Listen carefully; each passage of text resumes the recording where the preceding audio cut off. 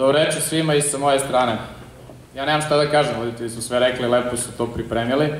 Želim samo da uživate večeras u ovoj svečanoj akademiji i da nastavimo dalje da radimo. Kao što vidite, večerašnji slogan, odnosno slogan za ovu godinu je Pirot grad kojim se ponosimo i to jeste neka svojevrsna metafora za sve ono što smo uradili za sve ove godine.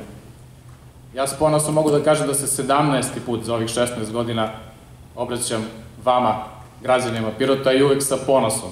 I kada je Pirot izgledao malo gore i kada izgleda sada malo bolje i nadam se da će Pirot i dalje napredovati.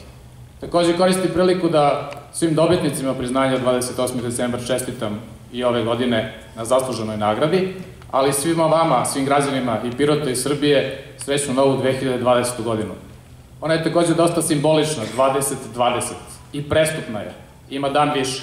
Pa svima vama želim malo više ljubavi, zdravlja i sreće u novoj godini. Hvala vam.